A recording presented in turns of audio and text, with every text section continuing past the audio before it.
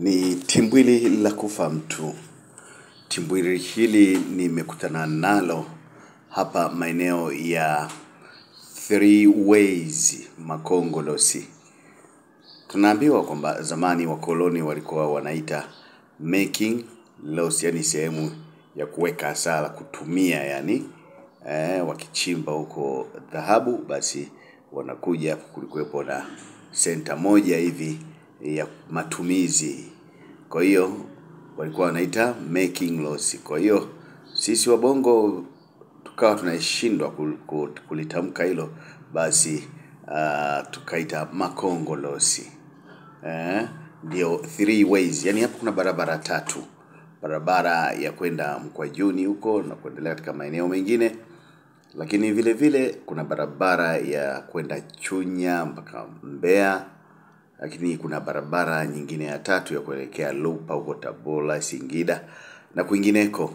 Ndio maana kunaitwa three ways. Nimekutana na timbwiri hili la vijana eh, wakitunishiana msuri kama unavyoona hivi, naona eh, wanatunishiana msuri eh, badala ya kutafuta mavumba maukoto. Ah, ni vijana bodaboda hawa, ni jirani kabisa na kilipokuwa kituo cha polisi cha Makongorosi zamani, ah, katika lango uh, kuu la kuingilia soko la Makongorosi, pembezoni mwa barabara hii. Angalia hapa, jamaa tunaambiwa huyo ni kaka yake ambaye anamwamulia asiendelee na ugomvi, lakini kijana hataki kusikia. Tunawaambia vijana, hebu acheni mambo ya ugomvi. Na kijana mwingine ambaye anataka kupambana naye ndio huyo amevaa kofia, unaona huyo anaamuliwa hapo, unaona eh? Hiyo wote wataki kusikia, kila mmoja anataka mwonyeshe mwenzie ubabe. Unajua hii ni hasara, timbwili timbwili hizi uh, hasara yake ni kwanza, mnaweza mkatiana virema ama kupoteza maisha, lakini vile vile uh, mkono ama mm, nguvu ya dora inaweza kushika nafasi yake ukajikuta kwamba upo uh, gerezani. Kwa hiyo vijana, kuweni makini sana na mambo haya. Siku hizi watu wanatafuta pesa. Sinaona kijana eh, kaamuliwa, hataki kusikia shati limeenda wapi, amebakia tu boxer iko juu eh, kipensi hapo ah, kimeshuka chini, basi anaendelea kwenda kumtafuta mpinzani wake. Kwa ujumla, ah, mambo ya ugomvi sio mazuri. Eh, mimi hapa nilikuwa ninapita majira ya saa uh, tatu hivi usiku. Uh, basi nikapata fursa ya kuweza kuliona hili basi nami kama mpashanaji wako Ankotom Mpanji kupitia upashanaji media ama U media nikaona ni vema basi nikuonyeshe hili nikupitishe uweze kuliona ambalo nimeliona mimi.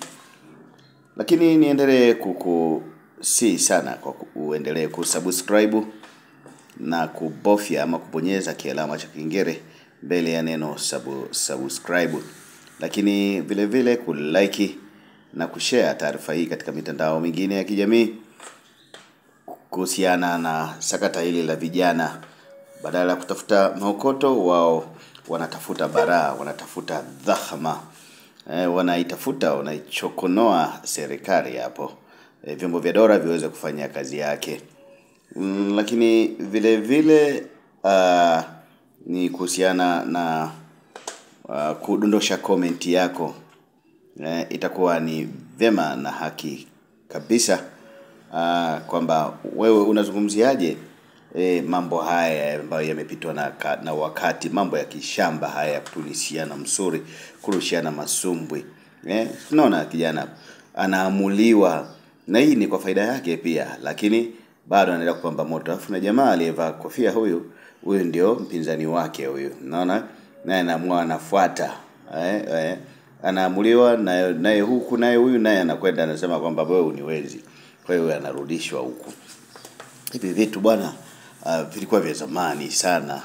Uh, siku hizi hali imekuwa ngumu, utafutaji umekuwa mgumu, kwa hiyo ni, ni changamoto sasa. Unaacha e, kutafuta pesa, basi uh, unaingia katika e, mambo haya ya vurugu vurugu hizi timbwiri hili Unaona, huyo anasogea pale yule kijana naye na yule kule naye anazuiwa. Basi eh, mambo ndiyo hivyo, mambo yamekuwa si mambo tena. Kwa ujumla uh, tuendelee kwa si vijana nadondosha komenti yako uh, kuhusiana na tukio hili kwamba unaonaje mambo haya ya ubabe ubabe. Unaona ni vema kweli? Unaona ni sahihi kweli nyakati hizi eh?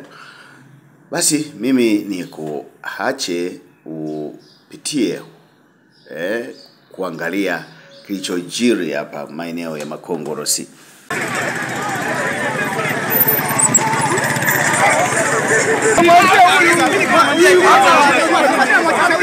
Mimi